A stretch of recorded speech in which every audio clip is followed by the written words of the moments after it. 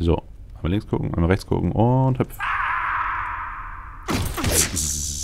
So viel dazu. Möglichst weit weg von den Schleim. Mhm. Komm schon. Dafür haut die Axt richtig gut rein.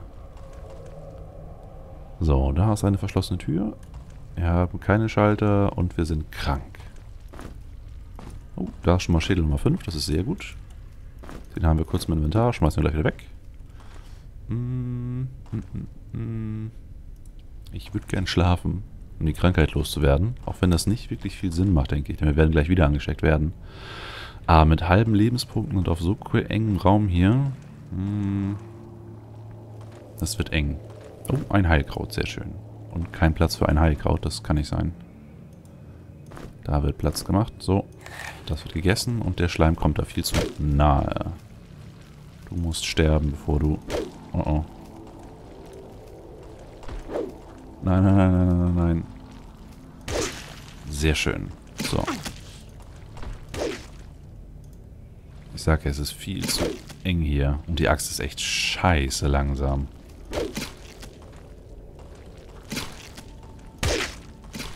Au.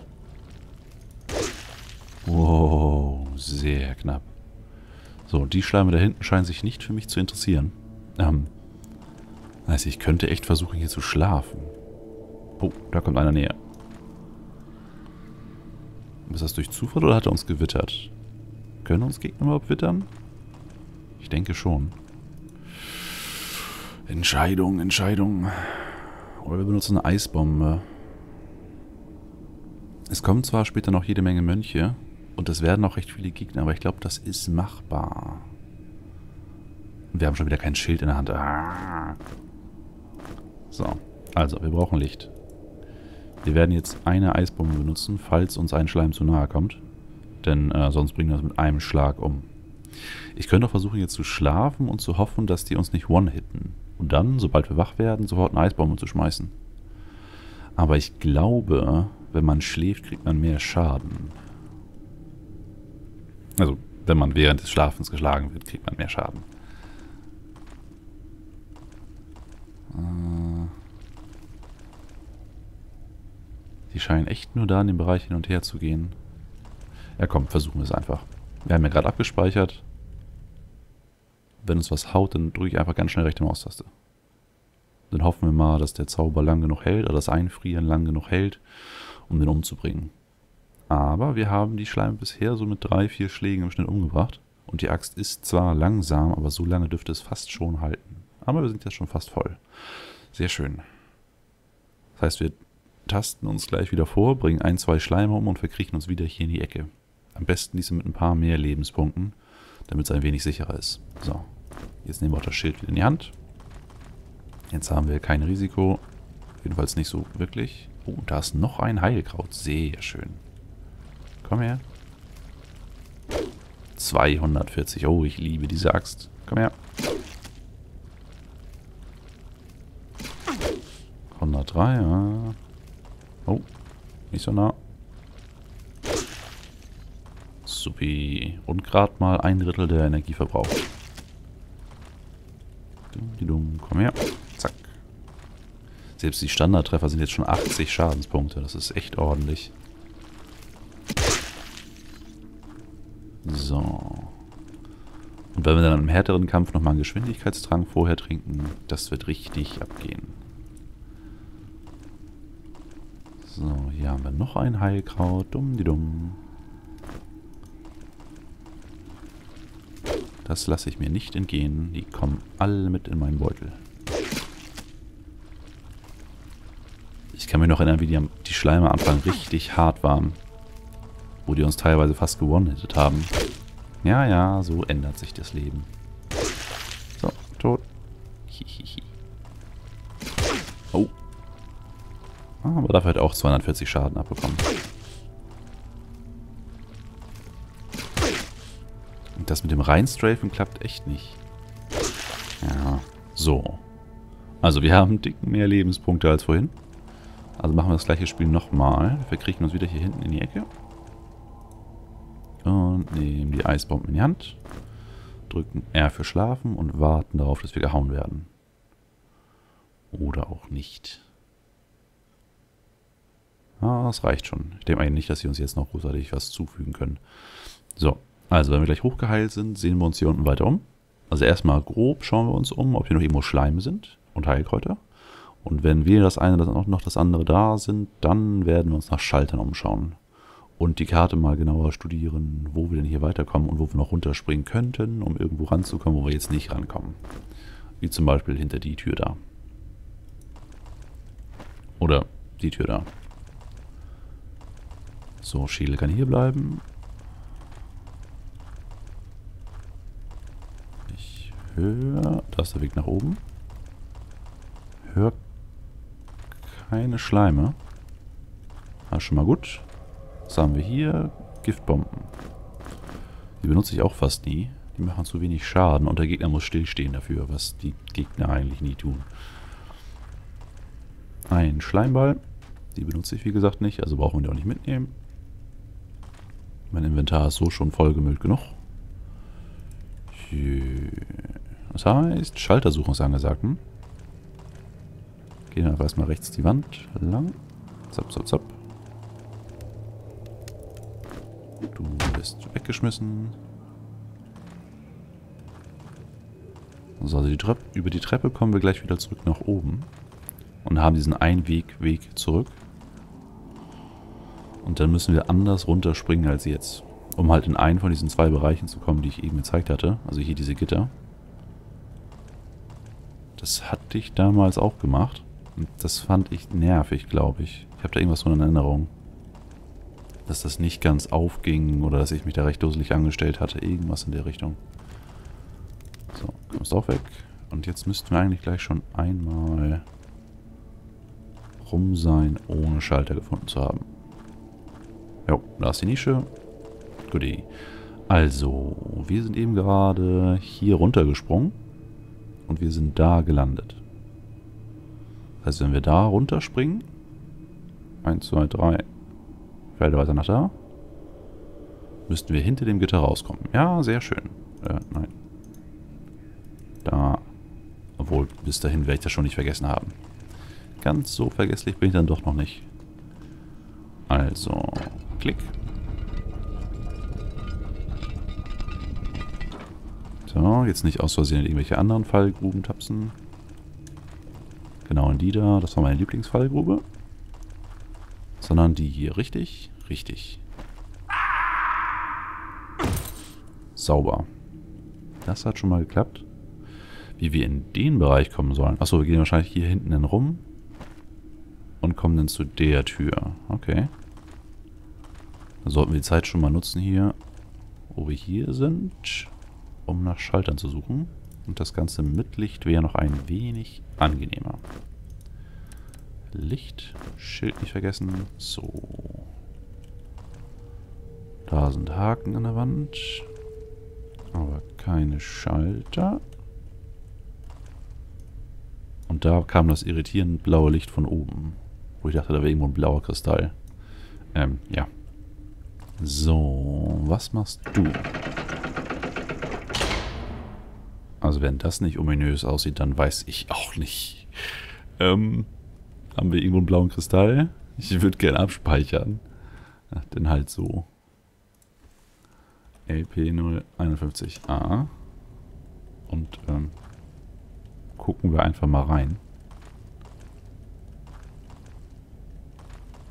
Ich habe zwischendurch immer so leichte Flashbacks von dem ersten Playthrough. Und jetzt sehe ich mich gerade ganz viel im Zickzack laufen hier an der Stelle. Weiß auch nicht warum. Hm. Bestimmt gehen die Wände hier auf. Gucken wir vor. Äh, da macht es auch keinen Sinn, die Wände vorher zu, zu checken. Hm? Wenn der Schalter dran wäre, dann wäre es komisch. Der Icefall Hammer. Zählt aber als Hammer und ist deswegen für uns uninteressant. Aber ein Secret mehr. Uns fehlen nur noch zwei Secret. Uh, hallo? so viel zum Zickzack laufen. Genau. Ähm, ähm. Zickzack laufen. So. Da müssen wir jetzt durch. Da müssen Ja.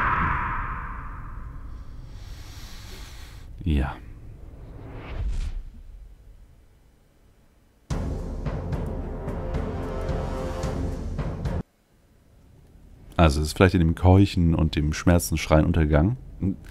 Aber ich wollte sagen, wir müssen da durch. Denn äh, wenn wir stehen bleiben, sterben wir. Aber der Pilz, der sich uns in den Weg gestellt hat, war zu stark. So, hier schon mal wieder das Secret. Und jetzt müssten genau die Dinge aufgehen. Ach du gute Güte. Ja, hallo Freunde. Auch wenn das schon wirklich so wie Cheaten rüberkommt. Also da die, das Hochziehen von den Wänden so verzögert ist, kann man halt aus dem ganzen Bereich locker rauslaufen, so wie ich das jetzt gemacht habe. Und das finde ich irgendwie schon unfair. Das hätten sie doch ein bisschen anders taktisch machen müssen. Also dass man erstmal längeren Gang lang läuft. Oh. Ähm. Nee, nee, nee, nee, nee. So viel dazu. Menno.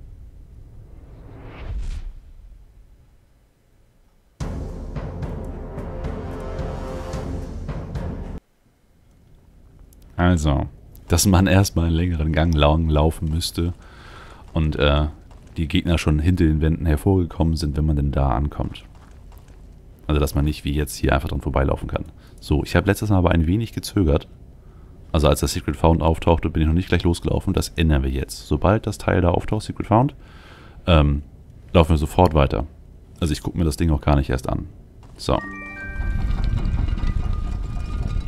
Auch wenn das jetzt noch mehr Cheaten ist als vorher, aber ähm, ja. Es ist anscheinend notwendig. Das war ein schöner Rampage.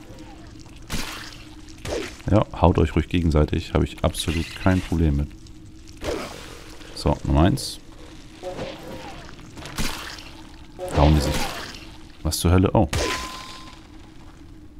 Ich wollte gerade sagen, wie kann er mich angreifen, ohne dass äh, irgendwelche Kugeln auf mich zufliegen? Hm, wir könnten uns jetzt hier einbunkern.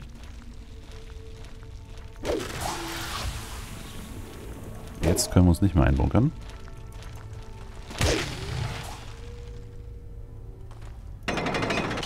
So, und jetzt schlafen wir einfach. Ja, doch, fiese Ecke. Ähm, auch wenn man halt durch dieses schnelles Weglaufen das umgehen kann. Aber naja. Allgemein ist sowas beim ersten Mal spielen eher am interessantesten.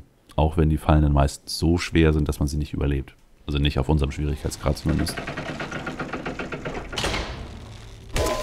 Aber so auf normal oder easy wäre das bestimmt... Oh, was haben wir denn hier? Wäre das bestimmt, bestimmt ein recht interessantes Erlebnis. Also dass man es dann gerade noch schafft beim ersten Mal. So, sind hier in den Nischen jetzt irgendwo Schalter? Oh, da lebt noch was. Da lebt noch eine Menge. Krabbel die Krabb. Ah, daneben. Ja, bei der Axt ist jetzt daneben schlagen echt nervig. Weil die Zeit, die es braucht, um halt wieder fertig zu werden, ist doch recht lang. Auch mit dem Amulett. Äh, Quatsch, mit dem Bracelet. So, keine Schalter in den Wänden. Bleibt noch hier. Auch keine Schalter.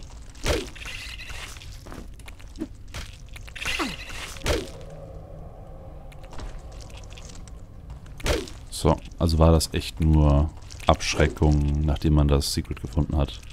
Und nicht noch irgendwie ein Secret im Secret, im Secret und so weiter. Aber es sind alles Erfahrungspunkte. Wie schaut es da eigentlich bei uns aus? Oh, dürfte noch drin sein. Level 15. Und dann könnte ich die Punkte auch alle auf irgendwas verballern. Obwohl mir gesagt wurde, dass es Sinn machen würde, die Punkte jetzt schon zu verteilen, weil dadurch auch die Stats sich erhöhen. Um, also ich hoffe, es sind nicht die hier links gemeint in der Liste, das jetzt gerade wieder ausgeblendet wird. Denn da haben wir hier nur Heavy Armor Prophecy. Äh, Profi... Profi... Cienci? Ich habe keine Ahnung, wie man es ausspricht. Ähm, oder die hier. Aber die steigern eigentlich fast gar nicht, wenn ich mich richtig entsinne. Nur die Lebenspunkte. Aber die Verteilung der Skillpunkte hat nichts mit den Lebenspunkten zu tun. Hm. Und schwere Rüstung könnte ich dann tragen. Ja, das ist richtig. Aber ist das Veiler-Set wirklich so gut? Weil wir haben jetzt so richtig schön viel Ausweichen. Obwohl zugegeben, die Gegner treffen uns trotzdem ziemlich häufig. Ah. Und das ganze Veilord-Set zu tragen, sehe bestimmt auch cool aus. Hm. Ja, das muss ich mir überlegen. Also eventuell nach dieser Folge, die eh gleich vorbei ist, ähm, könnte ich mal ganz kurz hochhuschen und die ganzen Veiler-Set-Teile zusammensammeln, also off-camera. Denn die sind äh, recht weit verstreut. Also recht viele sind hier oben. Ich glaube, drei Teile sind oben bei dem blauen Kristall, der von beiden Seiten begehbar ist. Aber der Rest ist richtig weit oben. Also mindestens ein, zwei, drei Etagen weiter hoch. Und das will ich nicht unbedingt auf der Kamera machen. Also während die Kamera läuft, das machen. So. In den und den sind wir reingesprungen. Da kamen wir da und da raus. Wenn wir da runterspringen, wäre das ein Schräg runter, noch ein, noch ein. Äh, ein Schräg runter, noch ein, noch ein. Wenn wir da rauskommen, das bringt uns gar nichts. Hm. Wenn wir da runterspringen, wäre das 1, 2, 3, 4, 5 schräg von dem Runterspringpunkt. Der Runterspringpunkt ist da. 1, 2, 3, 4, 5. Wenn wir da landen. Würden wir da landen, wenn wir da runterspringen? Äh, ich denke, da ist dann hier und da ist dann hier. Also es gibt kein taktisches Runterspringen mehr. Das ist schade. Hm, na gut. Speichern wir erstmal ab. Und in der nächsten Folge stehe ich dann entweder in einer kompletten Veiler-Rüstung vor euch oder auch nicht. Muss ich mir noch überlegen. Also, bis gleich.